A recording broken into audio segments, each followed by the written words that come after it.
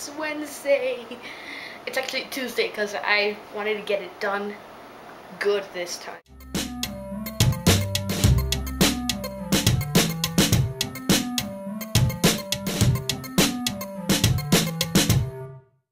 So this is my hat. If you can notice, it's Bubba Gump. I went to the restaurant that was inspired by the Forrest Gump movie. It's really good. There's a lot of shrimp. Whew. Okay, so let me show you what's in my bag. This is my school bag, or just a backpack. Um, it's quite heavy today because I have my biology book covered with people I met from VidCon. Um, what else do I have? My Beatles folder. It's all, it's just like one month into school. It's all this. It always happens. It always happens. My geography notebook, eco-friendly. Um, ooh, my geography textbook. You're gonna like this. A geography textbook. I put the picture of I have with John Green. Yes, John Green. Just stare at it. Stare at it. It's amazing. I love it. It actually makes geography a lot more interesting because it's very boring, especially the teacher. Yeah. Like die of boredom in that class. I have my night book that we're reading for English class. Um, it's about the Holocaust. It's pretty interesting so far. But I'm like in chapter four because uh, we read it as a class. She told us not to read ahead, even if I want to read ahead. It's pretty cool. You should, you know, get a chance.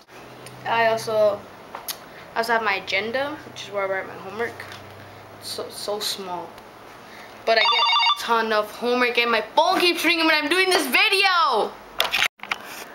Sorry for the interruptions.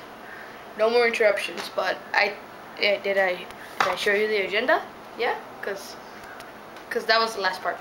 I do want to show you, I uh, share some things with about my agenda.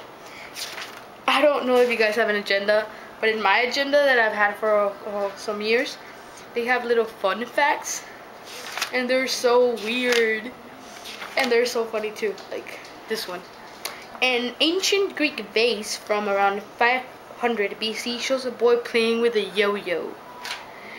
Or um, this one's um, the the number symbol number the number symbol that little little thingy that's like, like a little cat um, tic-tac-toe thingy um, it's also known as an octothorpe octothorpe really that's what it says here they've all been true so far um, there are twice as many kangaroos in Australia as there are people. Is this true?